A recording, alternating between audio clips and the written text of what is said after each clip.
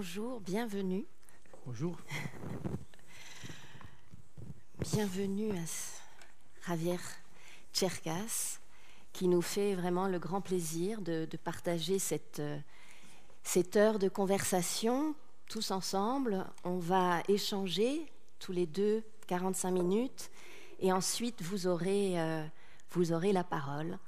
Euh, Javier Cherkas, dans chacun de, vos livres, depuis maintenant presque une vingtaine d'années, vous menez des corps à corps, des corps à corps vraiment, euh, avec le temps, avec la littérature, avec l'histoire. Il y a eu la guerre d'Espagne tout d'abord, avec les soldats de, Salamine, qui a été le livre qui vous a euh, rendu d'un coup euh, célèbre, on peut le dire, dans le, dans le monde entier, avec des traductions euh, voilà, dans une quinzaine de langues, et, ça, continue. Euh, autre livre qui a fait beaucoup parler de lui aussi, c'est la tentative de, coup d'État du 21 février 1981 au Parlement à Madrid. donc ce livre qui s'appelle Autopsie d'un instant. Euh, et puis là, euh, nous allons parler principalement, mais on, se promènera aussi dans les autres livres un petit peu, euh, du dernier, qui est donc Le monarque des ombres. Magnifique titre, on y reviendra. Et là, pour la première fois, vous abordez, j'allais dire, votre histoire, ou l'histoire plutôt de votre famille, et son passé franquiste, euh, puisque le monarque des ombres, c'est donc Manuel Mena, votre grand-oncle, qui était un enthousiaste de la phalange, euh, ce parti d'extrême droite, et qui est mort très jeune, à 19 ans, euh, dans la terrible bataille de l'Ebre, on prononce comme ça? Euh, pendant donc la, guerre euh, d'Espagne. Alors ma première question, c'est est-ce que ce livre a été le plus difficile à écrire pour vous? Pour commencer, je voudrais, si vous me permettez, raconter, dire des choses. Pour commencer, raconter une toute petite histoire que je raconte souvent. La première fois que Roman Jacobson, le grand linguiste russe, a visité Harvard, il a été reçu par le président de l'université qui lui a dit Monsieur Jacobson, on m'a dit que vous parlez 14 langues. Et Jacobson a dit Oui, c'est vrai, mais je les parle toutes en russe. Alors, je parle français, mais je les parle comme d'autres langues, mais je les parle en espagnol, je m'excuse. Et, après, je, je, voudrais remercier Vera Michalski et les gens de cette fondation parce que je suis ébloui au milieu de la campagne suisse, ça. Extraordinaire. Avec cette bibliothèque, avec tout ça, je suis avec ces écrivains, des amis qu'il y a ici aussi, Pablo. Bon, extraordinaire. Non, oui, ce livre, euh, ce livre, c'est le premier, en fait, le premier livre que je voudrais écrire. Je crois que c'est normal, ça. C'est-à-dire, tous les écrivains, euh, nous avons des histoires ici, non, dans la tête, et que pour moi, c'était la première histoire que je voulais raconter, euh, parce que c'était peut-être la première demande, question sérieuse que j'ai me posée à moi-même. Euh, c'est-à-dire pour moi, écrire un roman veut dire euh, formuler une question complexe de la façon, de la manière plus complexe possible. C'est ça, écrire un roman. et alors la première, peut-être la première question sérieuse que je, me posais à moi-même, ça a été la question sur ma famille. Comme dans ce sens, et dans tout, je suis une personne normale. Je crois que c'est logique, ça. C'est-à-dire, surtout avec le pire héritage de ma famille. nous tous avons un, bon héritage et un mauvais héritage. Mm. Et nous savons très bien que faire avec le bon héritage. Ça, c'est facile. Mais qu'est-ce qu'on doit faire avec le mauvais héritage? Ça, c'est la question qui se pose dans ces dans ces romans. Qu'est-ce qu'on fait avec, avec ça? On les, on, les, on les cache? On les, Je veux dire, l'héritage de violence, l'héritage de guerre, l'héritage... Nous avons tout ça.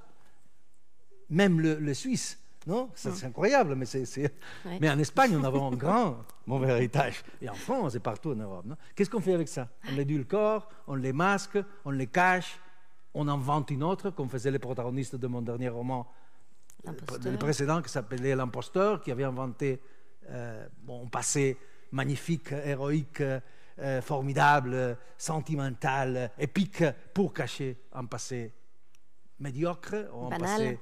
Oui. Euh, et alors, ça, c'est vraiment le, problème de, ces livres. Non? C'était les premiers livres que j'ai voulu écrire parce que les protagonistes du livre, c'est, disons, entre guillemets, le, le, héros officiel de ma famille, ou a été le héros officiel de ma famille pendant beaucoup, d'années, et surtout était le héros pour ma mère, que peut-être c'était le, le, protagoniste secret du livre. C'est-à-dire, c'était un jeune homme. Euh, je, viens de, je, suis catalan, j'habite à, Barcelone, euh, à la Catalogne, mais, comme beaucoup de gens en Espagne, en, en Catalogne, je viens du sud de l'Espagne, c'est-à-dire de la presque la part plus pauvre de l'Espagne, c'est au bord de la de Portugal. C'était un tout petit village. Campé aussi, c'est le protagoniste du livre. Ma famille était une famille euh, bon, euh, modeste, euh, de petits propriétaires de, la, campagne. Et cet enfant, ce jeune homme, était l'oncle le, l'oncle de ma mère, alors mon grand-oncle. Et bon, c'était en fait le premier, c'était le premier de la famille qui étudiait. J'insiste, le, le petit village était très pauvre et la famille était très modeste.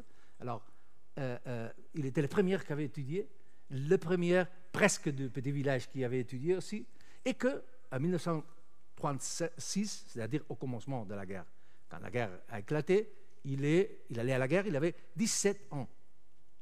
C'était un enfant, vraiment. Il allait à la guerre, il est devenu un enthousiaste phalangiste, disons. Le phalangisme a été la version espagnole, disons, du, fascisme. Et il allait à la guerre, il, il, a participé à la guerre dans le combat plus dur de la guerre, on doit le dire. Mm. Et il est mort, effectivement, à la bataille de l'Èbre, que c'est la bataille plus, euh, plus dure de, de l'histoire de l'Espagne. Et alors, ma mère toujours me parlait de ses, de ses, de ses oncles, parce qu'elle avait 5 ans quand la guerre a, éclaté, elle avait 7 ans quand, quand, quand cet enfant est mort à 19 ans. Et alors pour elle, comme vous pouvez très bien imaginer, il était, il, n'est pas exactement, il n'était pas exactement son oncle, il était presque son frère, parce qu'il il habitait avec, avec, lui. Et pour, pour elle, était, elle avait 5 ans et pour, pour elle, était un héros, vraiment. L'homme courageux qui avait allé à la guerre, à, bon, à sauver la famille, à sauver la, la, religion, à sauver la patrie et tout ça. Et elle me parlait de, cette, de cet enfant tout le temps. Et, et bon, pour moi, pour moi, lui est devenu, était le symbole de, la, de pire héritage de ma famille, de ma famille et de mon pays. C'est-à-dire le pire héritage de mon, pays, de ma famille, c'était la guerre, la guerre civile.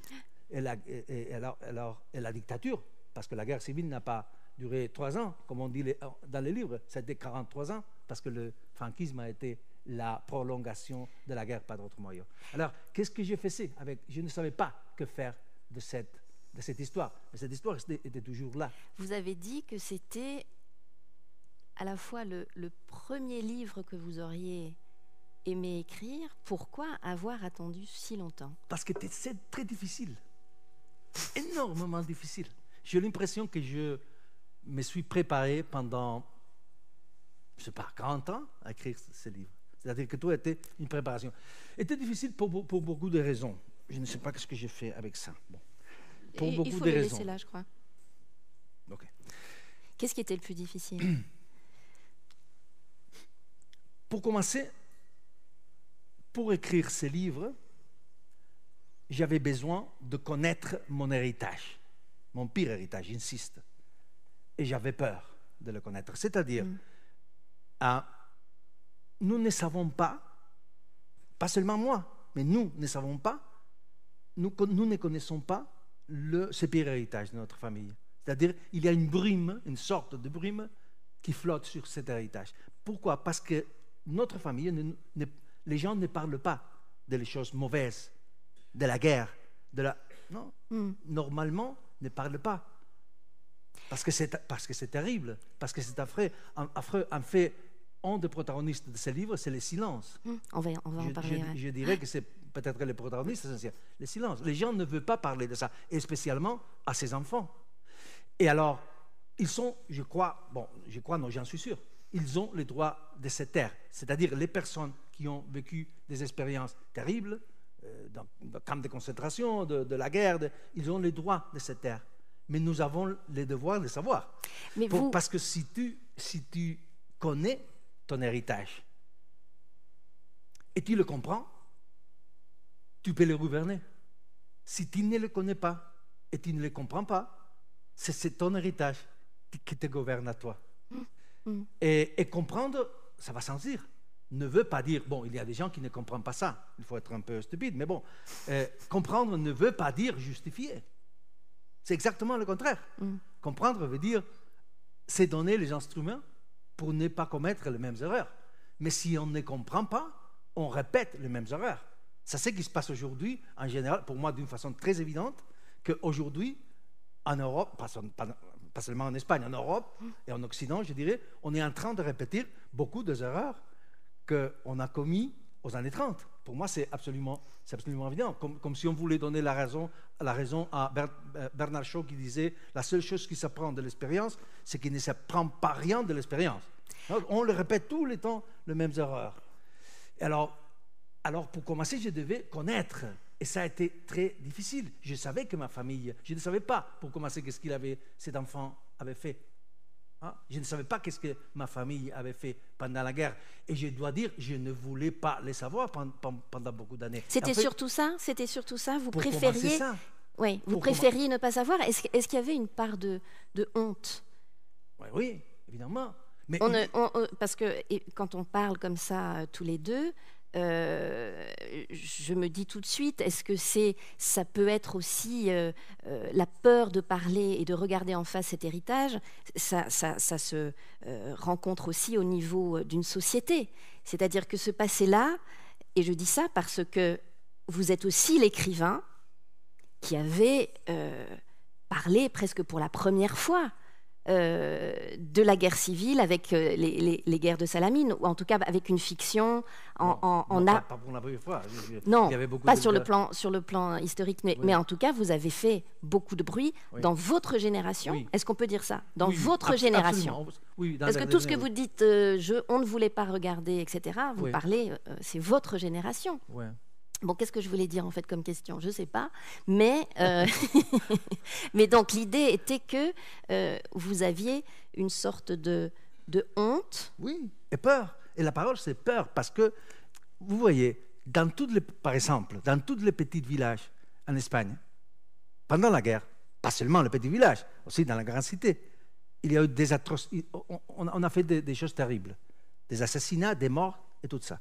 Ma famille, au commencement de la guerre, était les gens, il- la- la- la- la- mon, mon petit village a été du côté franquiste, du commencement de la guerre. Et se sont passés des assassinats pas, pas, pas énormément. Il y a eu des, des- des- des petits villages où, ça a été, il y a eu des massacres. Pas dans mon petit village. Il y a eu, selon moi, 13 assassinats. 13. 13. Dans un petit village. Dans, dans un tout petit village, 3500 personnes. Et je ne savais pas qu'est-ce que ma famille avait fait. Je savais qu'elle avait des responsabilités parce qu'ils étaient Ouais. les personnes qui... Donc c'était ça la peur première en J'avais- fait. Oui, Ouais, il y a un personnage dans le livre, tous les personnages dans ce, dans ce livre sont personnages réels, qui est un, de mes cousins, qui était euh, socialiste. En fait, toute ma famille après était toute de gauche, comme moi-même. Mais bon, il, était par- parlementaire socialiste, pour commencer en Espagne et après au Parlement européen, qui m'a dit, il est un peu plus âgé que moi, bon. Euh, et il m'a dit au commencement, est-ce que êtes-vous sûr que vous voulez écrire vraiment ce livre? Ouais.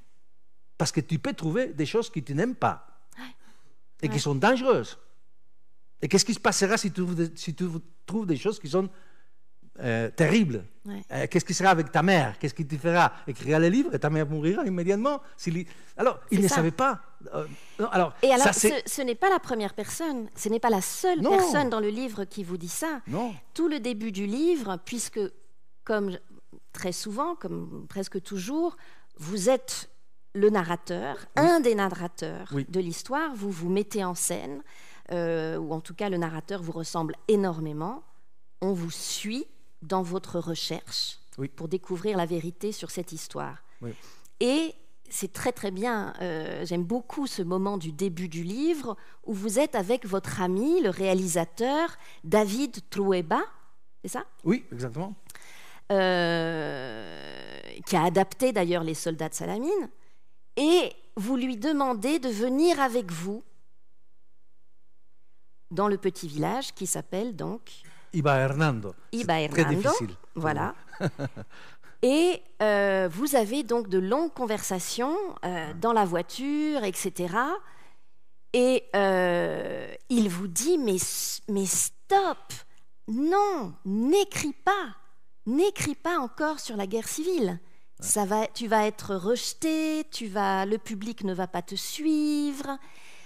Ils diront que tu, sais, tu es un fasciste ou un communiste, t'accuseras d'être communiste, fasciste, oui, c'est vrai.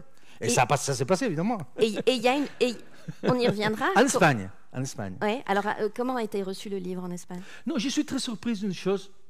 Bon, je ne suis pas surpris, je suis habitué à ça dernièrement. C'est-à-dire, le premier qui m'a dit ça était un, un critique anglais qui s'appelle Bo- Boyd Tonkin, grand critique anglais de le- de Independent. Il m'a dit Nous, ici, en Angleterre, en dehors de l'Espagne, on comprend mieux tes livres qu'en Espagne. C'est Il vrai m'a dit. Oui, il m'a dit ça. Et j'ai dit Et pourquoi? Et sa réponse a été un peu. J'ai trouvé ça, sa réponse, après, dans un, un essai de Milan Kundera. C'est très, intéressant, les, les essais de Milan Kundera sont, sont extraordinaires. Et il parle un jour, c'est- très intéressant, il, il parle un jour, dans un livre, d'un roman de Anatole France, que je n'ai pas lu. J'ai fait, lu très peu Anatole France. Je crois que la- le roman s'appelle Le Dieu en soif. Ça, c'est possible sur la. Révolution française.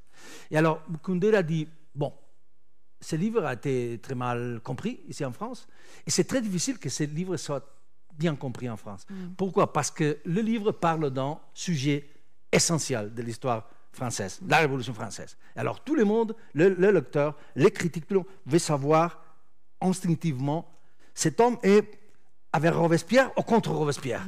Cet homme, euh, et dit, mais ça, ça, ça, ça, c'est une lecture complètement trompée.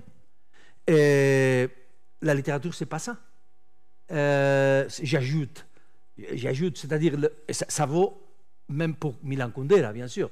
Le roman de Kundera, sur, spécialement le, ses romans plus importants sur la euh, Tchécoslovaquie, sur les 68 et tout ça, ont été très mal compris, euh, encore aujourd'hui. Parce que les gens veulent savoir, est-ce qu'il était un révisionniste? Est-ce qu'il était avec le communisme? Est-ce qu'il était... Non? Et, et- et la littérature, c'est pas ça. La la- le roman particulièrement. Le- les vérités du roman ne sont pas jamais claires, univoques, taxatives. Les, les vérités du roman, depuis Cervantes qui a inventé ce genre extraordinaire, c'est toujours, ce sont toujours des, vérités contradictoires, des vérités ironiques, des vérités ambiguës, des vérités polyédriques et tout ça. Et alors, oui, euh, euh, euh, en Espagne, non, je, ne me plains pas, c'est-à-dire je suis très content, j'ai beaucoup de lecteurs en Espagne, pas de problème. Mais inévitablement, il y a des gens qui non, cet c'est un fasciste, parce que cet homme c'est un communiste, parce que euh, il y a une lecture très, très. Et, et- et- et au contraire, ici, en- par exemple en France ou en Angleterre, ou, ici, je suis très heureux, le livre euh, est très bien reçu, il n'y a personne qui dit que je suis communiste, que je suis fasciste, que je suis. Non, il veut de- un roman qui veut dire des choses romanesques ça, veut dire des choses sérieuses sur la réalité aussi. Complexe. Mais, mais, mais avec un, un langage qui c'est le langage de la, de la, de la... Alors oui, David Trueba avait raison. Mais s'il n'y avait pas une polémique en Espagne sur ce sujet, on parle d'un sujet essentiel. C'est-à-dire le fait... La, la guerre, c'est... La guerre d'Espagne, hein. ce livre ne parle pas de la guerre d'Espagne, disons la vérité. Ce livre parle de l'héritage de la guerre d'Espagne. Ça, c'est la, la question Et donc du présent. et, et donc du présent. Alors, le présent espagnol ne commence pas aujourd'hui. Le présent espagnol ne commence pas euh, hier. Le présent espagnol commence en 1936. Et le, commence, le, le- le présent, je, je crois, pour, pour moi, ça c'est essentiel. C'est-à-dire, je, je crois, j'ai découvert avec le temps qu'à présent, à certains moments, j'écris contre ce que j'appelle la dictature du présent. C'est-à-dire, mes, mes livres, inconsciemment, je dirais, sont en combat contre la dictature du présent. C'est-à-dire cette idée que ce n'est pas espagnol. C'est-à-dire, c'est- Ah ça, c'est universel, comme tout. C'est-à-dire le fait qu'aujourd'hui, on habite en, dans cette dictature. C'est-à-dire, le, le présent aujourd'hui est, est, créé par les médias. Non les médias ont un pouvoir extraordinaire. Médias au sens large, réseaux sociaux. Euh... Réseaux sociaux, Internet, la télévision et tout ça. Et, et ces médias ne, ne, seulement reflètent la réalité, la créent. C'est-à-dire, une chose qui n'existe pas dans les médias n'existe pas. Hein? C'est comme s'il n'existait. Et alors, pour les, et ça, ça, a des choses bonnes, mais il y a, euh, il y a aussi de mauvais de, de side effects. Non? Et un des side effects, c'est le fait que, que le présent, pour les médias, c'est aujourd'hui, c'est dans ce moment. Et ce qui s'est passé ce matin, pour les réseaux sociaux, pour c'est un peu le passé. Et hier, complètement le passé. Et un mois auparavant, c'est la préhistoire, pratiquement. Non? C'est une chose qui n'a pas une relation réelle avec le présent. Et alors, on a cette idée, on vit dans cette idée que le passé, c'est-à-dire l'histoire, c'est une chose que, vous savez, c'est dans les archives, dans les, dans les, bibliothèques, ici, non? Et Il y a des, des, personnes comme vous et moi, des frikis qui sont intéressés dans le passé et l'histoire, mais ça n'a pas une relation vraie avec le présent. Mais c'est complètement faux. C'est une, forme de réductionnisme total de la réalité, de, simplification énorme de la réalité. Le passé, et surtout le passé pour moi, le passé duquel il y a encore mémoire et témoin, que c'est le passé qui m'intéresse à moi, que c'est dans mes livres, ce passé n'est pas passé, c'est passé, c'est une dimension du présent sans laquelle le présent est mutilé. C'est ça. Et on peut dire. Alors, que... alors, alors, mes livres parlent de ça. Il y a ce que veut se montrer que le présent, c'est toujours plus grand et que censé passer, le présent n'existe pas. C'est, non? Faulkner disait, il y avait un, leitmotiv dans, dans l'imposteur, que c'était une phrase de Faulkner très connue euh, euh, le passé, le passé ne passe jamais. Il, il, comme, non, ah, le passé ne passe pas. Le passé non? ne passe pas. Ouais. Il n'est même pas passé. Il n'est même, non, c'est toujours présent. Quelqu'un qui la connaît Past is not dead, it's not even past. Voilà, c'est ça. Le, passé n'est pas mort. Passé il n'est même mort. pas passé. Et euh, on peut dire vraiment que, alors c'est le cas de, de vos livres et, et de celui-là aussi de façon extrêmement forte. Tout le livre, oui. c'est on vous suit en train justement de montrer combien ce passé est encore en fait brûlant dans la bouche des, des, des témoins euh, que, que, que, vous allez euh, raconter. Et donc pour, en fait, redonner vie à ce fantôme qui est ce jeune homme, Manuel Mena, euh, qui, dont il ne reste plus qu'à peine quelques photos jaunies, vous comprenez qu'il va falloir faire l'histoire, en fait, de ce tout petit village. Évidemment, cette histoire n'existe pas. C'est un projet un peu fou. Comment, comment vous avez procédé pour aller comme ça réveiller ce passé qui reste presque dangereux, je dirais? Non, c'est dangereux. Non. Euh, ça a été le, travail, toute ma vie, j'ai travaillé à ce livre. Mais j'ai trouvé, vous savez, il avait une autre raison par laquelle était si compliqué d'écrire ce livre. C'est le fait qu'il était, exactement ce que vous disiez, c'est très, trop personnel. Il y a des écrivains ici, nous savons très bien, nous les écrivains savons des choses qu'on peut, on peut les dire, non? Pablo, c'est ici. Euh, par exemple, nous, nous, savons des choses qu'on qu ne, ne dit jamais. Par exemple, que la forme, c'est tout. Hein? Les écrivains qui sont ici. Non, la forme, c'est tout. Trouver la bonne forme. Form is of the essence, comme, comme, comme on dit en, en, euh, c'est-à-dire, une bonne histoire, bien racontée, c'est une bonne histoire. Une, bonne histoire racontée d'une mauvaise forme, c'est une mauvaise histoire. L'histoire de Madame Bovary, c'est ridicule. Une femme de Provence ici, mais arrive Flaubert. Et, bon. et alors, euh, le problème avec ces livres, ah, il y a une autre chose que, nous, savons très bien, que les gens, normalement, les lecteurs pensent que le, les histoires plus faciles à raconter et plus euh, immédiates sont les histoires prochaines, les histoires familiales. Et c'est exactement le contraire. C'est-à-dire, je ne savais pas comment faire. La, littérature, c'est ça qui transforme le particulier en universel. Non? Ce qui se passe à cette petite femme de Provence en, France, non? Madame Bovary, en quelque chose qui c'est universel. Euh, Que arrive à tout le monde, qui s'est passé à tout le monde. Non? C'est fou, Don Quijote de la Mancha, au milieu de, in the middle of nowhere, non? Au milieu de- de la Mancha, et qui, c'est un homme particulier qui devient un symbole de ce que nous sommes. Non? Alors, comment faire pour transformer Quel a cette- été votre déclic en fait Comment pour, faire euh, pour transformer cette histoire si particulière en universel Il est- pour, pour commencer, il fallait trouver la forme. Non? Et la forme dans ce livre, c'est particulier. Quand j'ai trouvé ça, j'ai dit, bon, on, a commencé. Je l'ai trouvé très tard. Et en fait, au, livre, il y a deux, deux- deux narrateurs, comme vous disiez très bien. Il y a un narrateur qui veut que c'est, disons, un historien, qui veut raconter, reconstruire l'histoire de ce Manuel Mena, un homme anonyme, très jeune, il est mort 19 ans. On a brûlé toutes ces choses. Il y a une scène euh, au livre, dans un moment dans le livre, où- toute la famille a brûlé tout, parce qu'il ne voulait pas souffrir. trop douloureux Trop douloureux. Alors, on a brûlé. Alors, il n'y avait rien. Comment reconstruire l'histoire de cet homme? Alors, il y a cet historien, ce sont des narrateurs qui s'alternent dans les livres. Il y a un historien qui veut reconstruire l'histoire de Manuel Mena, de, ma famille et de mon petit village pendant la guerre et après avant. Et alors, c'est un historien bah, avec cette idée de. Tolstoï disait une chose très belle raconte ton petit village et tu raconteras le monde. C'est-à-dire, si tu peux raconter l'histoire de ton petit village, tout est là. J'ai découvert que dans mon petit village, était tout. Était vraiment l'histoire de la guerre civile et je dirais l'histoire de l'Europe à ce moment. Et alors, cet historien veut raconter sans ima- rien imaginer, sans rien inventer, non comme un historien veut raconter cette histoire, non cette histoire du passé récent, du commencement du présent, du présent, comme, comme je disais. Et il, il, il, il est- il, il est- il n'est pas moi, c'est-à-dire il parle de moi en tiers personne. Il dit c'est Javier Cercas, cet homme se trompe, cet homme, non Euh, Et il n'invente rien, il dit il y a des littérateurs qui inventent, mais je n'invente pas. Ok.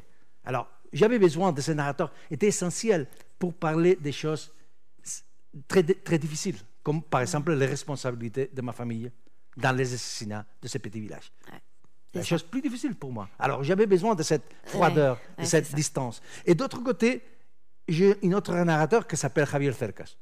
Et que c'est un peu comme moi. Je dis toujours que je, je écris des romans d'aventure sur l'aventure d'écrire un roman. D'écrire des romans. Parce que parce qu'il y a toujours, dans mes livres, sont un peu comme ça. Non? Il y a une histoire ou une série d'histoires. Et en même temps, il y a des processus de raconter l'histoire. Comment se fait l'histoire Pour moi, c'est essentiel, non? C'est-à-dire mes doutes, mes, perplexités, mes, peurs, le voyage que j'ai fait avec mon ami David Trueba, le, réalisateur de Soldats de Salamine au cinéma, toutes ces choses, non? Qui sont essentielles pour moi. Je, je lis une lettre récemment d'Italo Calvino, le, le grand écrivain italien, pour moi était un homme essentiel, et, et- et encore essentiel, qui dit dans une lettre une chose extraordinaire. Il dit, il y a des livres, il y a des romans, je crois qu'il dit, il dit, il y a des romans, où il y a des livres, où la, euh, raconter les processus de se faire les livres, c'est presque, il dit, une obligation morale. Hmm. Ça, c'est joli, ça. hein Presque une obligation morale. C'est intéressant. C'est- C'est-à-dire, le, le- en tout cas, je, je- je ne veux pas. Je crois que l'histoire de se faire le roman, c'est aussi c'est- très important, presque plus important que l'histoire en elle-même, parce qu'on ne parle pas ici seulement du passé, mais du présent. Comment un jeune homme, bon, une personne comme moi, peut aborder cette histoire. Exactement. Et alors, c'est à travers cette forme que j'ai trouvé une chose que je ne savais pas. J'ai trouvé, je crois, l'universalité, j'ai cru trouver l'universalité de l'histoire de Manuel Mena. C'est-à-dire, Manuel Mena est devenu pour moi un symbole, en un certain sens. Un symbole de quoi? Je crois qu'on on vit ici, je ne sais pas qu'est-ce que tu penses, mais ça a une relation avec la, la, tyrannie du présent. Je crois que bon, on- vit aujourd'hui une, époque paradoxale. D'un côté, on a sacralisé la mémoire. La mémoire, c'est sacré, mais en même temps, on oublie plus rapidement que jamais. Peut-être c'est une, conséquence, une chose de l'autre. Et on oublie des choses essentielles. Par exemple, on oublie que les- ce sont les enfants qui font la guerre. C'est-à-dire, Manuel Mena n'est pas une exception. Il allait à la guerre avec 17 ans. 17. C'était un enfant. Et il est mort avec 19. Et C'était un enfant. Et ce sont les adultes, nous, qui envoie à la guerre les enfants. Et comment on fait ça? Ben, Ça, c'est aujourd'hui. Encore. Mais ça, c'était toujours. Et comment, comment on fait ça? En fait, il y a beaucoup d'instruments, mais il y a deux qui sont très clairs. Emmanuel Mena, c'est un exemple parfait. Un de ces instruments, c'est l'idéalisation de la guerre. C'est incroyable, mais c'est comme ça. Du commencement de, de, de, notre histoire, on a idéalisé énormément la guerre. La guerre comme une chose utile, la guerre comme une chose belle, même. belle dans laquelle les hommes se trouvent eux-mêmes. Il y a l'épigraphe, le, l'épigraphe on dit en français? Initial, la, la, phrase initiale du livre. L'épigraphe? L'épigraphe, non? Il y a un autre mot. Oui, oui, non, c'est juste. C'est le vers de, de, de Horace, très fameux, qui dit Dulce et decorum est pro patria mori. C'est doux et, et, honorable mourir pour la patrie. Et voilà. Il y, a, il y, a, un moment dans le, dans le livre où on met, on, compare, on compare Goya, Velázquez de Goya. Il y a cette, cette extraordinaire, pour moi, une des plus belles choses jamais qu'on a jamais euh, fait en peinture. Vous voyez que c'est le, euh, c'est le dernier Prado à Madrid, c'est euh, la rendition de Breda. Vous vous souvenez de cette, cette peinture on, le dit les lances parce qu'il y a beaucoup de lances. C'est une, une, chose extraordinaire, mais c'est une idéalisation absolue de la guerre. C'est-à-dire le, les vainqueurs sont, sont dignes sont, nobles, sont, il y a, ils ont de la compassion. Les vaincus sont dignes, sont nobles. Presque les chevaux. Il y a un chevaux que c'est une merveille, c'est noble aussi, les chevaux. L'idéalisation absolue. Et les enfants vont à la guerre. Manuel Mena, sans doute, allait à la guerre. Il pensait que, la guerre, c'était formidable. Que la, guerre était cette peinture de Velázquez. Et qu'est-ce qu'il s'est trouvé? Il s'est trouvé ce que tous les enfants de tous les temps et aujourd'hui se trouvent. Que la guerre, c'est comme les, peintures de Goya, comme le, désastre de la guerre, vous vous souvenez? C'est-à-dire sale, horrible, sans dignité, sans noblesse, sans rien. Mais quand ils découvrent ça, euh, c'est trop tard. Manuel Mena l'a découvert sans doute, et c'est pourquoi je le, à la fin, pour moi, je, je crois que j'ai dit, c'est un soldat perdu dans une guerre qui n'est pas la sienne. Alors, c'est, ça, ça c'est universel. Et, cette idéalisation de la guerre. et, il y a une autre chose que c'est un instrument. Il y a beaucoup d'instruments, mais Manuel Mena, c'est parfait. Manuel Mena a cru ça, sans doute. Et, il y a un autre instrument duquel Manuel Mena a été une victime. Ce sont cette, ces idéologies qui promettent le ciel, le paradis, et qui créent l'enfer. Le fascisme a été ça. Le fascisme a été une de ces idéologies. Aujourd'hui, le, le, totalitarisme des années 30, le communisme. Aujourd'hui, le salafisme. Non? Et oui, on a oublié des choses essentielles. Et justement, comment, comment ce jeune homme qui était euh, passionné par les études, qui était promis voilà un bel avenir, euh, etc. Comment ce jeune homme a été fasciné Mais c'est ça exactement la question. Par le, par le fascisme? Est-ce que c'est euh, une des raisons pour laquelle vous avez eu envie de, de raconter ce, ce, ce, garçon? Qu'est-ce qui fait qu'il s'est laissé prendre quelque part? On a oublié des choses essentielles. J'insiste, on oublie plus rapidement que jamais. Nous sommes dans un moment de sacralisation de la mémoire. Et on a oublié des choses essentielles, comme par exemple que le fascisme avait un côté fascinant, un côté très attirant, spécialement, je dirais, pour les enfants. C'était une mode à ce moment-là.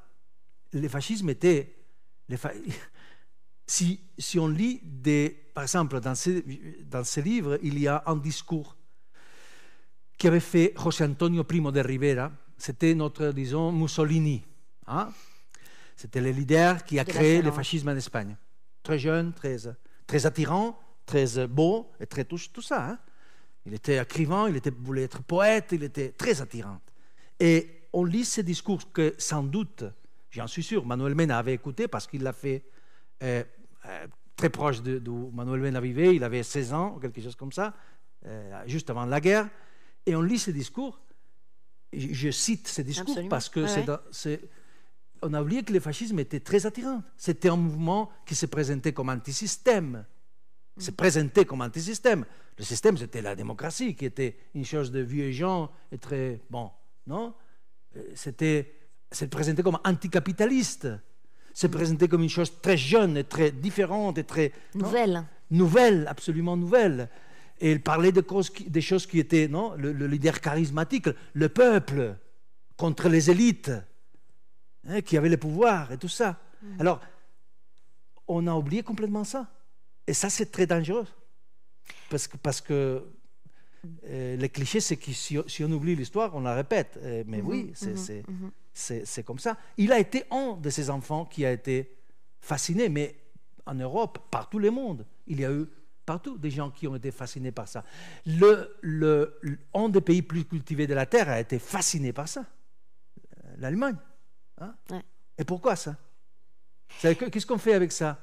Qu'est-ce qu'on fait avec ça? S'il y a un jour, j'ai dit toujours, pardonnez-moi, je pense aujourd'hui, quand j'étais jeune et je voulais être un, écrivain postmoderne, je pensais que la littérature n'était pas utile.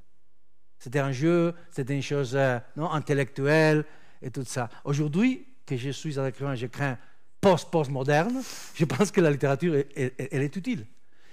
Si elle ne veut pas être utile, non? Parce que si elle veut être utile, elle devient euh, pédagogie ou devient euh, propagande, et alors cesse d'être. Et alors elle est utile Mais elle est utile si, si, elle, si elle veut comprendre, si elle est courageuse de comprendre. C'est-à-dire, la question, je disais Hitler, la question, ce n'est pas si Hitler était une bonne personne ou une mauvaise personne. Tout le monde sait que, c'était un homme horrible et qu'il a fait des choses horribles, tout le monde. La question, c'est pourquoi? Ça, c'est la question qui se poserait, j'espère, un jour, un génie, notre Shakespeare ou notre euh, euh, Cervantes ou notre Dostoïevski. Non?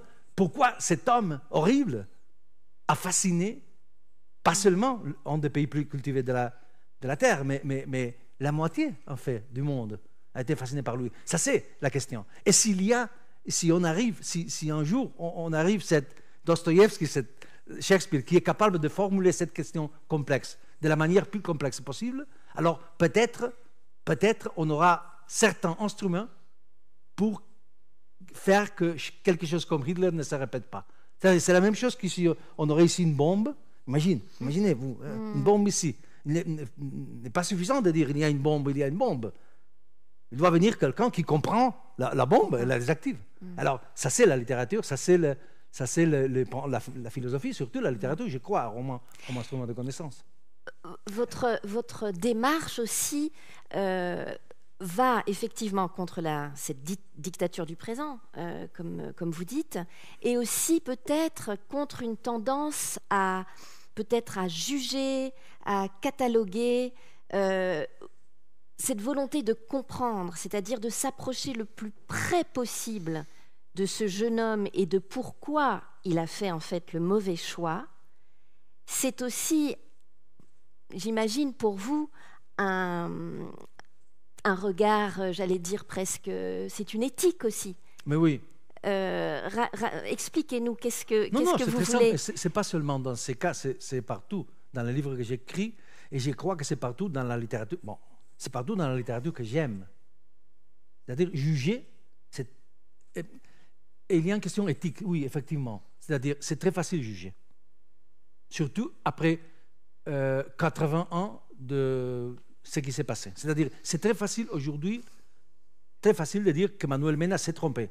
Et c'est vrai, s'est trompé, sans doute. Il a, il, a, il a été avec un coup d'État contre une démocratie une république démocratique. Alors oui, c'est vrai, s'est trompé. La question c'est pourquoi il s'est trompé. Mm. Ça c'est la question. Et, j'insiste, je déteste cette idée de juger les gens qui ont été dans, dans des circonstances très difficiles. Surtout quand nous étions, vous savez, 80 ans après de ça, mm. et dans une situation très commode. Bon, très commode, on verra qu'est-ce qui se passe mm. les, prochains, les prochaines années. Mais, mais c'est difficile. Quand on, quand on vit l'histoire, c'est difficile de, de comprendre l'histoire.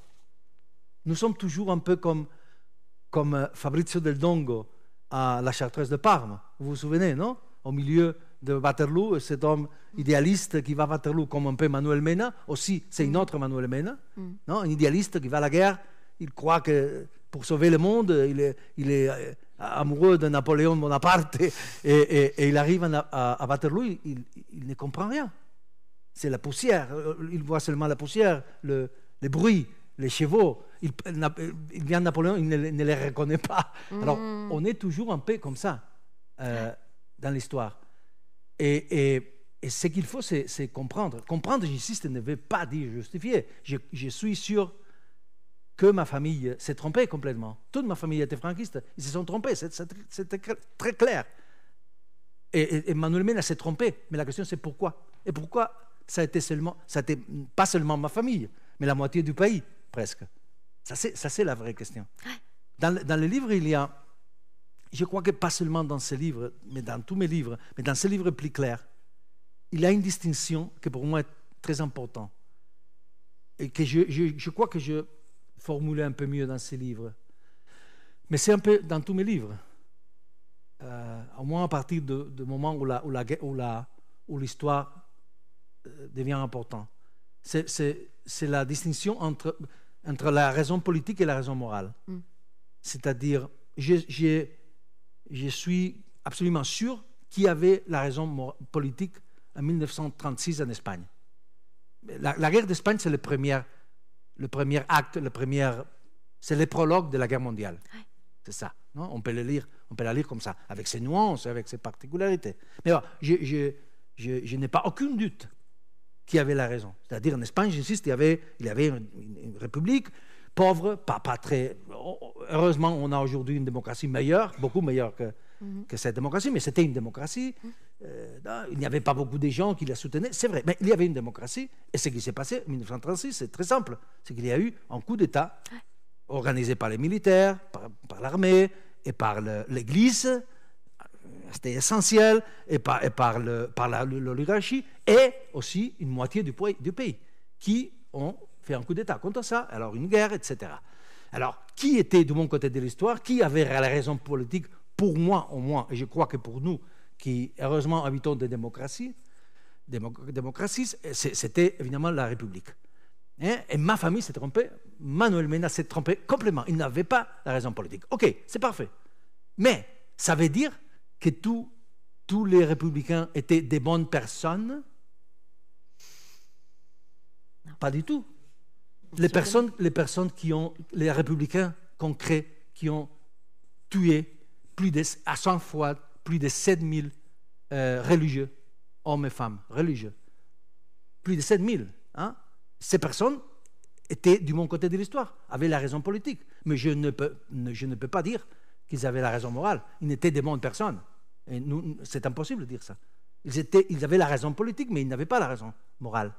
Et au contraire, et au contraire, il y avait des gens qui n'avaient pas la raison politique, qui ont fait un coup d'État contre une république démocratique, mais qui ont fait ça parce qu'ils croyaient, ces moments énormément difficiles, que c'était la seule solution. C'est-à-dire, je le dirais très clair, j'ai passé toute ma vie, toute ma vie à savoir des choses sur ce, ce petit, ce- cet enfant. Non? Ouais. 17 ans, 19 ans quand quand il est mort, toute ma vie.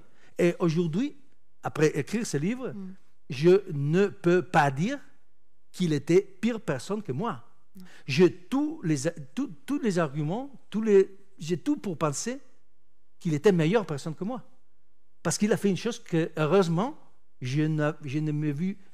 Je ne, je ne fais, heureusement, parce que je ne me vis dans le- la circonstance et que je ne sais pas si j'aurai le courage de faire, que c'est risquer ma vie et mourir pour les, cho- pour les choses auxquelles je crois. Et il l'a fait. Alors, et cet, cet enfant n'avait pas la raison politique. Mais je ne peux pas dire qu'il n'avait pas la raison morale. Je ne le peux pas dire. Et parce que ça, c'est le problème, que c'est difficile d'accepter. Même si dans toutes les langues, il y a cette, cette, euh, expression, cette phrase qui dit L'en- l'enfer est pavé de bonnes intentions. Ça, c'est universel. Mais c'est très, difficile d'accepter qu'avec les meilleures vertus, le courage, le, le- le- vous savez, tout, l'idéalisme, on fait des choses mauvaises. Ça, c'est terrible d'accepter. C'est terrible d'accepter, je ne sais pas, que, qu'il y avait millions de, de gens qui ont cru au communisme, qui ont fait... et le, le communisme a été un désastre total. Ouais. Total. Et, et- mais, mais avec, ça s'est fait avec l'idéalisme, la générosité, le courage, la vertu de, de millions de personnes. Et je suis obsédé, pardon, je suis obsédé avec l'histoire de ces enfants. C'est la même chose. Pour moi, ce sont des Manuel Mena. Ces enfants qui ont fait l'attentat terroriste à Barcelone l'année dernière. Vous vous souvenez, vrai? Ce sont des enfants. Il y avait des gens qui n'étaient 17 ans, 18 ans. Et l'homme, l'enfant, qui a tué 19 personnes à la Rambla de Barcelone, vous vous souvenez, vrai? Avec, avec, une, avec une voiture. Cet enfant, il avait, je crois, 19 ans. Et euh, les gens qui étudient avec lui disaient, je lis ça, c'est dans la presse, c'est près de ma maison, de ma, d'où je vis. Ils, ils habitaient là. Et ses copains disaient, mon père me disait, lui c'est l'exemple, lui c'est le meilleur, c'est l'exemple. Hein? Tu dois être comme lui. C'est les gens, professeurs, les gens qui étaient avec lui, disons, ils ne croyaient pas qu'il pouvait faire ça, parce qu'il était extraordinaire. Il était généreux, il était formidable. Et il a fait ça. Évidemment, il a, il il eu aussi un adulte, que c'était un imam, qui a transformé complètement, qui l'a transformé complètement, et à tous ces gens qui ont participé dans cet attentat. Et c'est très difficile d'accepter qu'avec le meilleur vertu, c'est possible de faire des choses atroces. Mais il faut, il faut le savoir je crois? Vous, vous, tout ce que vous venez de, dire donne la mesure de la profondeur du livre euh, et de l'émotion euh, qu'il euh, peut susciter.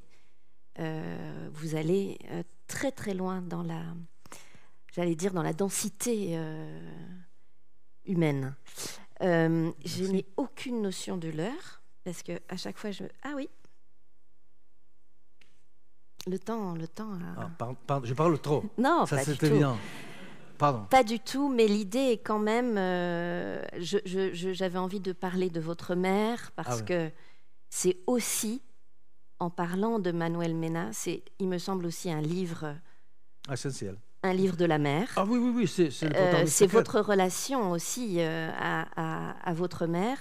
Mais je vais laisser ça, peut-être, à vous, euh, à vos questions, que vous l'ayez lu déjà ou pas encore, sur d'autres livres, sur l'histoire, sur la Catalogne, mais peut-être pas, je sais pas.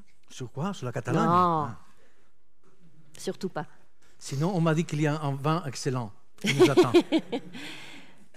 voilà, c'est à vous pour, euh, pour les questions avant les, la signature des livres avec un très beau choix de livres. Si, si, il faut attendre un petit peu et puis il y en a. Sinon, je dirais que ma mère, c'est vraiment la protagoniste du livre parce qu'elle m'a donné l'héritage et que jusqu'à 39 ans, je n'avais pas aucun lecteur, excepté ma mère et quelques de mes, mes amis, mais ma mère. Et je n'avais pas aucune plainte, c'est-à-dire pour moi c'était normal, spécialement parce que j'étais des lecteurs extraordinaires. Ma mère toujours a pensé qu'entre Cervantes, entre Cervantes et moi-même, il y a un énorme vide dans la littérature occidentale. Qu'est-ce qu'ils ont fait tout le temps?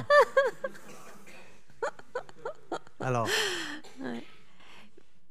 Mais c'est très très beau, je dois dire, le, fait que, euh, voilà, c'est elle qui raconte cette légende terrible mais c'est une légende mi-réelle, mi-fictionnalisée. c'est votre mère qui vous, raconte l'histoire de Manuel Mena. Et est-ce que c'est pas quelque part euh, aussi cette histoire qui a fait de vous un écrivain? Ah oui, oui. Non, il y a un paradoxe extraordinaire, extraordinaire, qui qui peut c'est pas un fait extraordinaire. C'est le fait que, je dis au commencement, il était le héros officiel de ma famille, mais c'est pas exact. Parce que immédiatement, après la guerre, on a brûlé tout, comme mm. j'ai dit au commencement. C'était la première, la première scène de ce livre que j'imaginais. C'était un moment où ma, ma mère, euh, elle avait 14, 14, 15 ans. c'est-à-dire dix ans, disons, après, après la mort de Manuel Mena, après la, après la fin de la guerre, plus ou moins, elle arrive à la maison de sa grand-mère, c'est-à-dire la mère de Manuel Mena, et il trouve, il voit là feu. en feu. les photos, les cahiers. Elle, elle les- dit qu'est-ce que- qu'est-ce que- qu'est-ce qu'il y a ici? Et la mère et d'autres gens qui sont là lui disent non, le- ce sont les choses de, de l'enfant.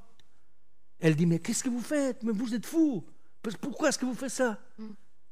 Et alors, une oncle lui dit nous ne voulons pas souffrir. On veut plus On souffrir. ne veut plus souffrir. Ouais, c'est fou. ouais. C'est-à-dire, c'est pas, c'est-à-dire la mort d'un, jeune homme comme ça, c'est terrible. Et c'est, il, il n'est pas vrai qu'il était le héros dans le sens de on célébrait tout le temps. Non, Non, non, on ne parlait pas de lui. Et c'était ma mère qui parlait de lui. Pour- parce que c'est vraiment, je, je n'écoutais pas parler. Ma famille, on ne parlait pas de ça. C'est ma mère qui me disait le temps. Et quand j'étais jeune, et ça c'est un- une chose essentielle pour Ouais. le livre, mais on ne parlerait pas de ça. Mais quand j'étais jeune, je croyais qu'elle me le proposait comme exemple. Et c'est exactement le contraire. J'ai- je suis très. Aujourd'hui, je suis un peu vieux, ou vieux complètement, et, et je peux dire que j'ai compris que c'était exactement le contraire. C'était le contre-exemple. Elle me disait ne fais pas ça. Alors, on peut, on peut expliquer le titre? Ouais. Le titre, c'est joli parce que c'est Homère. C'est Homère, en fait. Non, euh, oui, on peut, on peut Parce que c'est lié à ce que, Oui. ce que vous dites. Homère. Bon, non, c'est c'est le fait que ce que j'ai dit au commencement du livre, c'est la vérité. C'est que j'avais l'impression quand j'étais jeune que ma- pour ma mère, Manuel Mena était un peu, vous savez, le héros idéal, c'est Ulysse. Pardon, c'est Achille- c'est Achille, non? C'est le protagoniste de la de l'Iliade, non? C'est le héros idéal de, de, de grec, non? C'est l'homme jeune, beau, euh, courageux, qui, qui, qui va au combat et qui combat la première rangée, non? La première ligne de combat, et qui meurt en combat, et qui reste dans la mémoire des hommes. Non? C'est le ciel de C'est le grec. héros. Comme, comme- oui, mais reste pas toujours non, à la mémoire des hommes. Alors j'ai pensé que ma mère, que, pour- que ma mère me parlait tout le temps de lui, parce qu'elle voulait que, que j'étais comme, comme, comme Achille. Non, c'était pour elle, c'était comme l'homme idéal. Non, j'insiste, elle était 5 ans, 7 ans quand il, quand il est mort. Mm, mm. C'est un prince pour lui, pour elle, c'était. Et mais, mais je me suis trompé en fait, parce qu'il y a une chose que j'ai passé toute ma vie à lire, l'Odyssée et la- et l'Iliade, et j'ai découvert une chose extraordinaire, que le, le- le protagoniste de l'Odyssée, c'est exactement le contraire de de du protagoniste de l'Iliade. C'est-à-dire le protagoniste de l'Odyssée, c'est Ulysse, comme vous savez très bien, et c'est exactement le contraire. C'est l'homme qui, avec russe, non? Russe? Rusé, rusé. rusé, qui, euh, qui euh, avec son intelligence et tout ça, bon, retourne à sa maison, récupère sa patrie, sa femme, non, et il vit longtemps, non, jusqu'au moment où il est vieux, il mort vieux, tout ça. Et alors c'est exactement le contraire, non? C'est comme si euh, Homère nous disait, il y a cette forme de vie, Achille, et il y a une autre forme de vie que c'est Ulysse. Mais il y a un moment où, où vous vous souvenez très bien, où Ulysse, où euh, le protagoniste de l'Iliade euh, se fait présent, apparaît dans l'Odyssée. C'est le moment où Ulysse euh, descend aux enfers, euh, au Hades, où sont les morts, et, et il trouve Achille. Et il lui dit, bon, vous étiez, quand vous étiez vivant, vous étiez le, le- le héros, vous étiez l'homme plus admiré non, pour, pour les hommes. Et aujourd'hui, que vous avez mort et vous avez eu une belle mort, Carlos Thanatos, une belle mort, la belle mort de, de grec, ici, vous seriez, vous serez évidemment le, les monarches des ombres Le monarque des ombres. les monarques des ombres. Ouais. Ici, non Ici. euh, et, et Achille les répond par des vers qui sont pour moi peut-être énormément émouvants. Il lui dit Oui, c'est vrai, je suis ici, les monarques des ombres, mais j'aurais préféré, aujourd'hui, je préférerais être le plus humble des hommes, être vivant, que ne pas être ici euh, les monarques des ombres, mais être mort. Mm. Et alors, je crois, je n'avais pas compris ça. Je, je- ma mère, elle était en train de me dire, ce que tu dois faire, c'est être comme Ulysse et pas comme, euh, comme Achille. Au fond, je crois que le, le, la, la, la, question, je, je, disais au commencement que euh, pour moi, écrire un roman, c'est poser, formuler une question complexe de la, de la manière plus complexe possible. Je crois qu'au fond, la question centrale de ce livre, c'est ça, c'est est-ce qu'il vaut la peine vraiment risquer la vie et mourir pour les choses auxquelles on croit, même si à la fin, l'histoire dit que tu t'es trompé, que tu étais du, côté, du mauvais côté de l'histoire. Ça vraiment vaut la peine ou non? Je n'ai pas une réponse. La réponse, c'est le livre. C'est le livre, oui, c'est ça. Euh, bon. Merci. Est-ce que c'est à, à, vous, parce que c'est, on ne peut pas se quitter euh, comme ça. Ah, voilà. Voilà, un micro va arriver.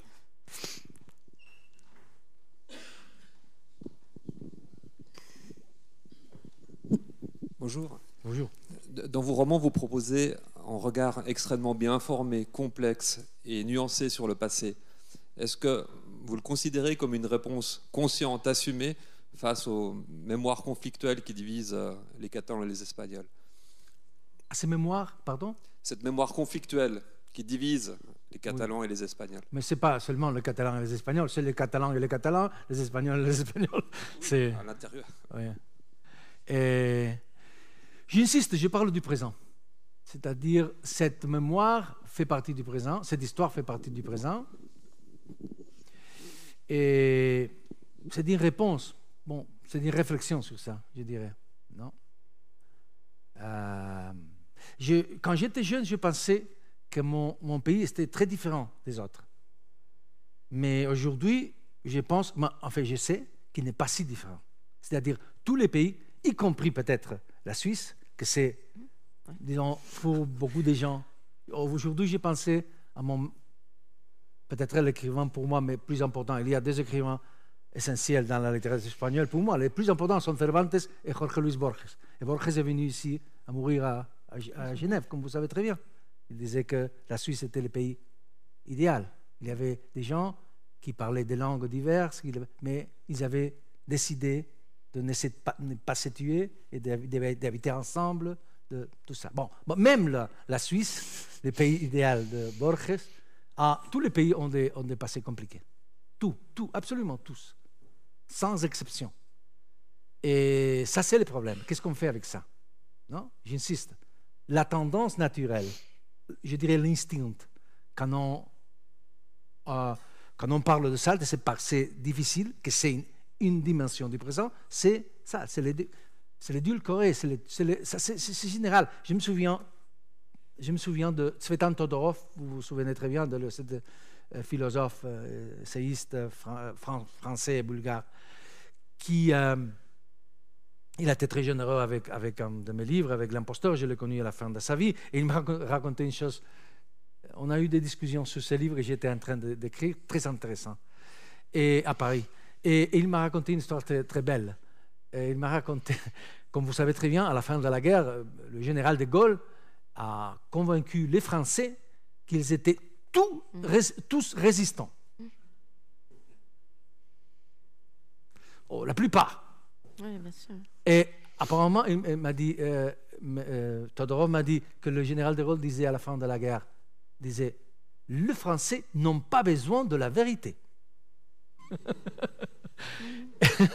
Alors, c'est ça. C'est un peu, c'est très difficile de regarder en face le passé. Mm. Le, le, le, mais pas, pas, seulement le passé collectif, le passé personnel aussi. Bien sûr. Non? Et, et, oui, l'Espagne a un passé compliqué, vraiment. C est, c est, si on compare le passé espagnol de le dernier siècle et demi avec le passé suisse, c'est vraiment. Borges avait raison. Nous avons eu, j'insiste, la guerre civile, ça n'a pas été trois ans, ça a été 43 ans, parce que la dictature a été la prolongation de la guerre par d'autres moyens. Alors, nous avons aujourd'hui la plus, la plus longue démocratie de notre histoire. Et, et alors, oui, c'est un privilège d'être aujourd'hui en Europe. Non? Et, mais nous avons une mémoire difficile parce que nous avons un présent difficile. Mais j'insiste, ce n'est pas, pas seulement nous. Euh, la France a un, un passé difficile. L'Allemagne a un passé L'Amérique, je viens de, de l'Amérique.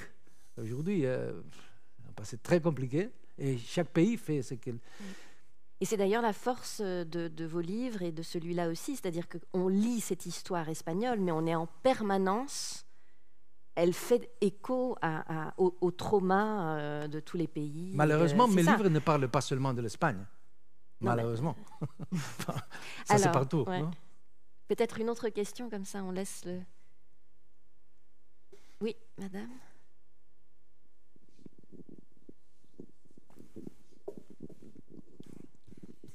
C'est une question qui est peut-être pas très facile à répondre rapidement. Qu'est-ce que vous allez en Espagne faire avec los Caídos Avec? Ah, los Caídos. Ah, ah, je ne sais pas.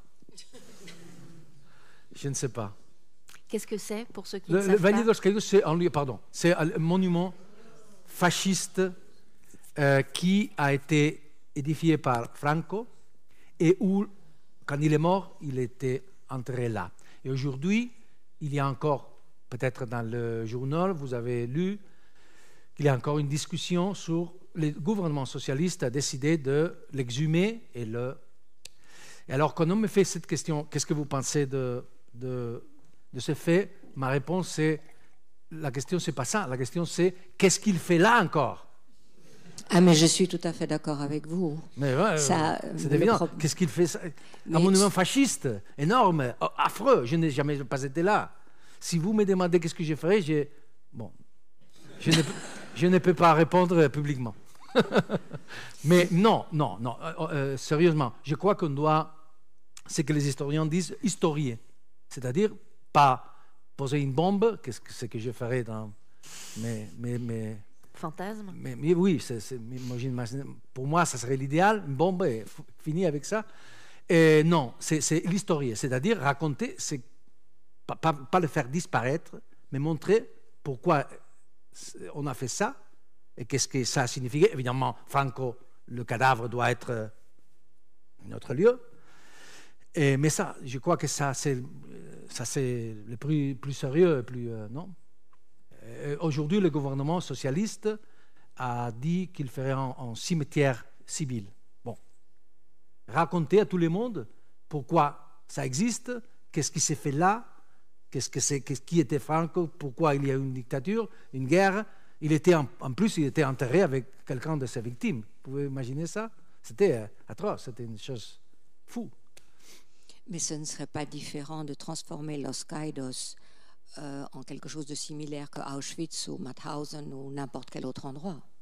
Ce Ça serait difficile, vous dire. Oui, je suis Ce d'accord. serait la même chose. Oui, l'idée c'est ça, c'est-à-dire montrer quand, quand vous allez, quand j'étais à Auschwitz, c'est ça, c'était montrer qu'est-ce qu'il y avait ça, et montrer les étudiants, et montrer, montrer tout le monde avec la euh, plus grande complexité, et plus grand, euh, non, euh, le montrer. Euh, L'historien veut dire qu'est-ce qu'on faisait ici, ici, qu'est-ce qu'on a fait ici, pourquoi ça s'est construit? Non, euh, oui, c'est un peu la même chose comme dans les camps de concentration, comme on a fait ça au camp de concentration. Je crois que c'est la meilleure solution. Les monuments, c'est terrible, c'est affreux. Mais... Encore. euh, On se donne cinq minutes encore? Pour... Voilà, monsieur?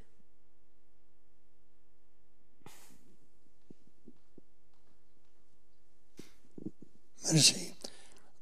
D'après vous, je crois que la fiction, vous savez mélanger la fiction, histoire, réalité. Vous savez jouer extraordinairement avec tout le temps. Vous croyez que la fiction explique mieux l'histoire que les, que les historiens, que les, les journaux? Non, non, pas du tout. Pas du tout. Je crois que les historiens, je crois, oh, oh, pour commencer, je crois que la fiction pure n'existe pas. Bon, je suis sûr. C'est une chose que nous, les, les écrivains, savons très bien. La fiction pure, c'est une, une Non, invention. non, dis pur. La vôtre, c'est pas pur. Non. Alors, la deuxième question, c'est, c'est non. Non, non, non. Je crois que le- les historiens. Alors, Aristote, qui c'est une personne très intelligente, disait une chose que c'est, très, très- très- c'est très bien. C'est-à-dire, il y a une chose qui s'appelle la vé- vérité historique. C'est-à-dire, la vérité historique, ça veut dire la vérité factuelle, la vérité de l'histoire, ce qui s'est passé en certains moments, à de certaines personnes, en certains lieux. Ça, c'est la vérité historique. Non? Ça, c'est la vérité qu'ils cherchent, les historiens. Et d'autre côté, il y a ce qu'on peut dire, Aristote disait, la, vérité poétique. C'est-à-dire, ce n'est pas une vérité concrète, mais une vérité abstraite.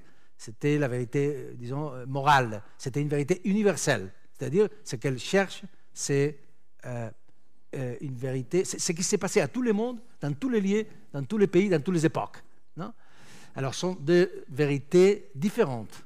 Ce sont des vérités qui peuvent être complémentaires, je dirais. C'est-à-dire, l'histoire et la, et, la, et la littérature, disons la fiction, La littérature. plus généralement, euh, ne sont pas sont complémentaires.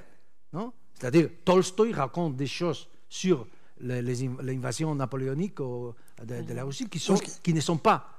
Qui J'ai pensé à Galdós maintenant. que- pardon? À Galdós, que j'ai passé Oui, oui, le hein. 19e siècle, Oui. comme pour vous, avec votre.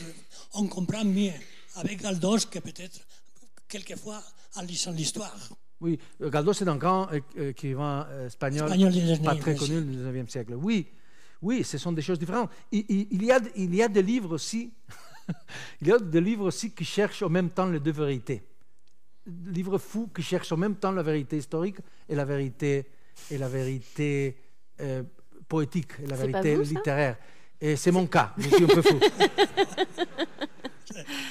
Non, c'est que par exemple avec euh, Anatomie d'un d'un Oui, instant, c'est un exemple. alors, vous avez donné vraiment, avec une discussion, vous, vous avez répondu, vous avez répondu à une question qui se posait tout le monde et qui vraiment vous avez centré, c'est-à-dire, vrai- alors, ça veut dire que vous avez répondu à l'histoire. C'était un de, de ces livres étranges, ça s'appelle L'anatomie d'un instant. Anatomie d'un instant. D'un voilà. instant, oui. Et, et c'est dans de ces livres étranges qui cherchent en même temps la vérité, poé- la vérité littéraire, la vérité historique. Mais c'est un cas très particulier. Très, c'est un livre très spécial parce que. Mais oui, ça a été essentiel. c'est, c'est un livre sans fiction, complètement sans fiction, parce que parce qu'on parlait de, de la grande fiction espagnole de notre temps, que c'est le coup d'État du 23 février. C'est notre assassinat de Kennedy. C'est une grande fiction collective. Hein? Et non? qu'est-ce que c'est un espagnol? C'est un homme qui a une théorie sur le coup d'État du 23 février 1981. Non? C'est notre grande fiction collective. Si vous n'avez pas une théorie sur le coup d'État 23 février 1981, vous n'êtes pas espagnol.